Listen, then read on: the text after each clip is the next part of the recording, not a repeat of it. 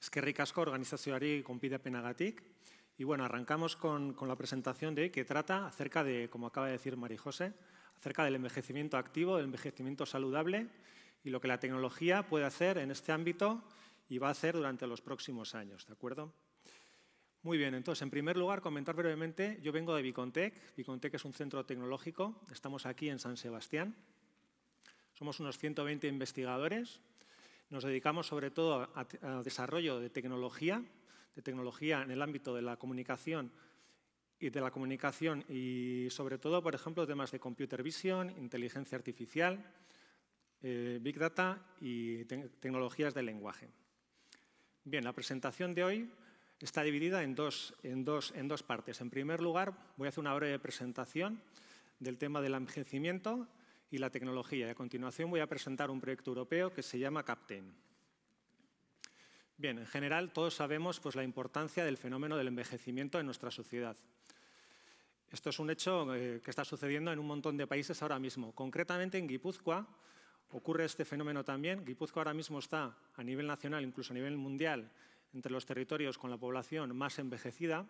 Concretamente, por citar únicamente un dato que yo creo que es bastante, bastante representativo, para el 2030 las estadísticas estiman que la población en Guipúzcoa, pues casi el 50% va a tener más de 55 años. ¿De acuerdo? Entonces, creo que es un dato interesante que refleja la magnitud del fenómeno al que nos enfrentamos. ¿no? Entonces, en este contexto está claro que vamos a necesitar nuevas soluciones, nuevas herramientas con las cuales podamos dar solución a las necesidades de las personas mayores, que de forma muy resumida y como todos bien sabemos son permanecer en el hogar el mayor tiempo posible, permanecer independientes, seguros, sanos, muy importante permanecer activos, conectados, conectados socialmente y motivados. Por supuesto, todas las herramientas que desarrollemos tienen que ser capaces de adaptarse, porque el envejecimiento es un proceso dinámico, tenemos que ser capaces de adaptarnos a esa evolución y, por último, también muy importante, sobre todo, asegurarnos que lo que desarrollamos es sostenible, sostenible económicamente, para que los, para que los cuidados sean sostenibles también. Entonces, como habíamos visto esta, esta mañana en numerosas presentaciones, pues ahora mismo vivimos en un boom tecnológico, ¿de acuerdo? Tenemos un auténtico tsunami de tecnologías. Inteligencia artificial, Big Data, Cloud Computing, Computer Vision, tecnologías del lenguaje, smart wearables, blockchain. Esto es solo por citar algunas. Hoy hemos visto muchas más. ¿no? Entonces, el reto de hoy, el reto principal al que nos enfrentamos es convertir, utilizar toda esta tecnología para crear valor para las personas mayores. Muy bien, a nivel comercial, como también hemos visto anteriormente, pues ahora mismo uno de los elementos que está pegando más fuerte es todo el tema de los asistentes virtuales. Aquí las grandes empresas se están posicionando muy fuertemente y es, impresionante pues, eh, el, poco, en el poco tiempo que es, cómo se ha producido esta, adopción de la tecnología. Muy bien. Y en este sentido quiero ahora mostrar un pequeño ejemplo que yo creo que es muy representativo de, las, posibilidades, de las posibilidades que nos ofrece la tecnología. Vamos allá. Mikey. How was your day, Susan? You look tired. I'll play some relaxing tunes for you. Thank you, Mikey. So, what's on for the weekend? I checked your calendar. No business meetings. Ah. But tomorrow, you are attending your sister's birthday. I'd like to bake something. What do we have? I checked the fridge. There's not much in there. I suggest carrot cupcakes with a nice cream cheese frosting. Ooh, that looks good. With Mikey's support and his step-by-step recipes, kitchen work is easier and more intuitive than ever before. Due to Mikey's voice operation and projection possibilities, he is always hands-on and the perfect kitchen assistant. Due to Home Connect, Mikey can operate all your home appliances. Muy bien. Entonces, este es un ejemplo para que veáis hacia dónde vamos en el futuro Cada vez estamos integrando más tecnologías en los diferentes productos que se están desarrollando. Este es un buen ejemplo porque si nos fijamos se integran una gran cantidad de tecnologías. Este sistema tiene un proyector integrado, se conecta a los electrodomésticos del hogar, es capaz de, conectarlos, de controlarlos remotamente y al mismo tiempo se conecta a Internet y permite una interacción eh, a través de audio con el mismo. ¿no? Bueno, pues entonces, eh, como conclusión, está claro que tenemos una gran cantidad de tecnologías y ahora el reto consiste en adaptar estas tecnologías a las necesidades de las personas mayores y aplicarlas, como vamos a ver, las vamos a poder aplicar en todos los ámbitos del día a día. Muy bien. Entonces, a continuación, paso a hablar del proyecto Captain. El proyecto Captain es un proyecto europeo, es un proyecto Horizon 2020 para los que no conozcáis eh, Horizon 2020, es básicamente es el programa donde la Comisión Europea establece la agenda de investigación a nivel europeo. Y entonces, concretamente, a través de esta agenda, la Comisión Europea lanza retos, retos para que, eh, para que se creen consorcios y abordemos esos retos que nos propone la Comisión Europea. Concretamente, en este ámbito se han propuesto recientemente se han, propuesto tres retos. El primero de ellos es convertir los hogares, los hogares habituales de cualquiera de nosotros, en, entornos inteligentes, en entornos asistivos. Otro reto que se ha planteado es intentar seguir facilitando la interacción con las personas. Y el tercer reto que se está planteando es ir un paso más allá de los asistentes virtuales y evolucionar en un nuevo concepto que la propia Comisión Europea ha llamado como Virtual Coach, y son, podríamos decirlo, como asistentes virtuales, pero en este caso proactivos, que detectan nuestras necesidades y nos ayudan a cumplir nuestras metas personalizadas, ya sean de salud o de lo que, de lo que se trate cada momento. Entonces, a continuación, voy a mostrar que la mejor forma de resumir el objetivo de Captain es mostrando este vídeo, que yo creo que es bastante interesante.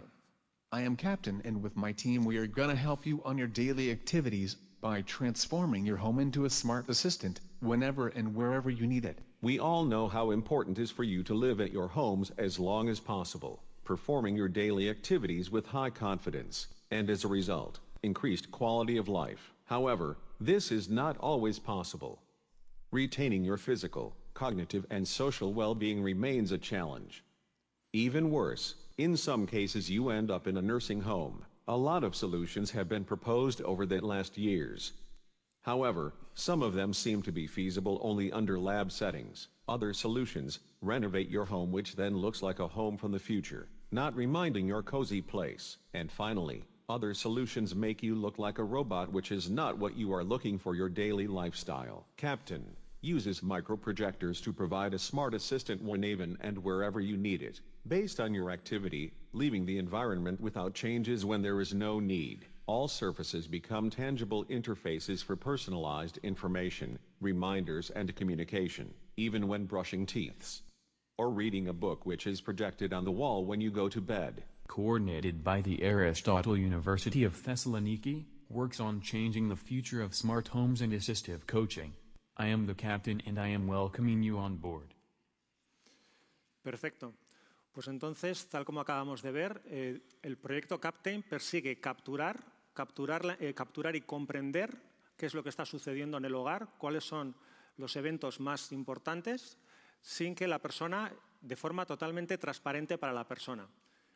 Y el segundo objetivo que persigue el proyecto consiste en ser capaces de guiar a la persona en diferentes momentos del día donde necesite de una ayuda especial. Y por último, por supuesto, lo que perseguimos es motivar, hacer que este proceso sea motivante para ayudar a las personas a permanecer en el hogar y para mantener sus capacidades físicas, cognitivas, etc. Esto es un proyecto que dura tres años. Ahora mismo estamos en el primer año. Eh, hemos terminado la fase de diseño y ahora estamos empezando la fase de integración del sistema Captain y por último, al final del proyecto lo validaremos. Concreta, lo validaremos. Entonces, aquí estamos mostrando algunas imágenes del diseño, de los diseños con los que estamos trabajando. Como hemos visto, el elemento principal del sistema es un sistema proyectivo que incorpora una serie de sensores adicionales con los cuales conseguimos eh, mayor información. Vale, entonces así, de forma muy resumida, el sistema Captain tiene tres componentes principales. El primero de ellos es la interfaz de usuario, va a ser de tipo proyectiva, tangible y emocional. ¿Qué queremos decir con esto? Que nos vamos a apoyar eh, digamos, en las tecnologías de proyección para utilizar los espacios del hogar, ya sean las paredes, armarios, etcétera, como superficies de trabajo. Va a ser tangible, es decir, vamos a poder interactuar con gestos con esas pantallas y va a ser emocional porque siempre se persigue un resultado emocional, siempre se persigue que la interfaz sea lo más amigable posible. En segundo punto importante, vamos a integrar un conjunto de herramientas para realizar una captura y análisis de datos de tipo emocional, comportamental, fisiológico, de movimiento, etc.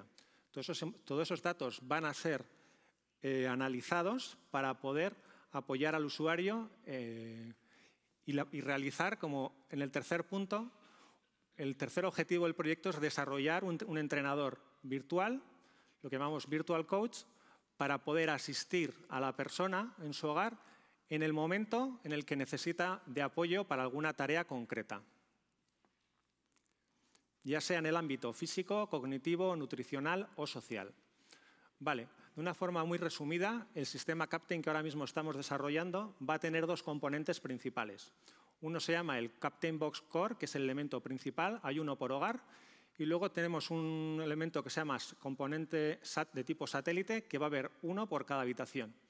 El componente principal es donde realmente está integrado el sistema Captain y el satellite es donde están todos los mecanismos, toda la tecnología de interacción, ya sea el sistema de proyección, va a haber sistemas de visión por ordenador, visión artificial, también va a haber el reconocimiento del lenguaje.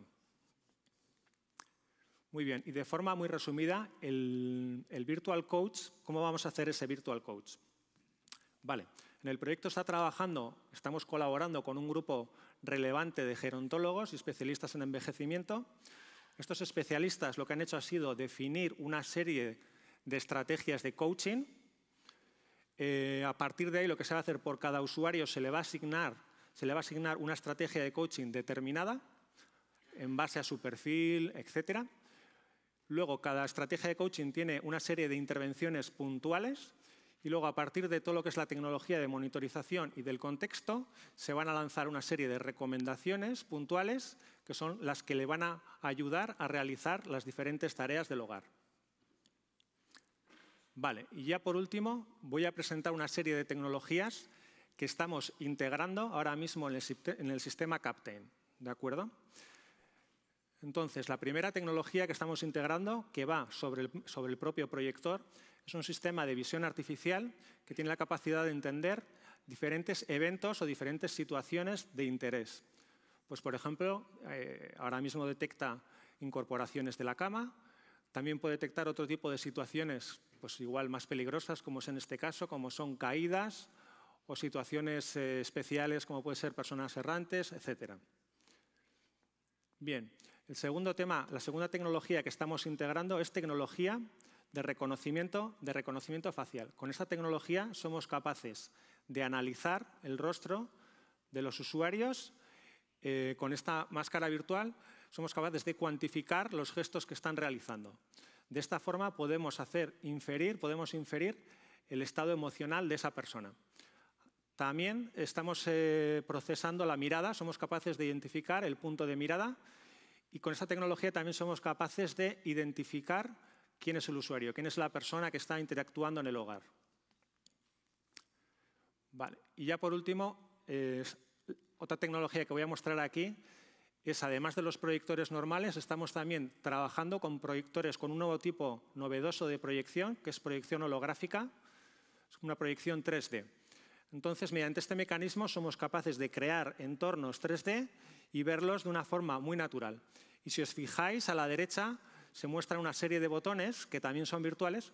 Entonces, eh, a través de una serie de gestos, el usuario es capaz, es capaz de interactuar con el sistema. Esto es un poco para que veáis la parte de proyección, pues diferentes eh, alternativas que estamos integrando en el sistema.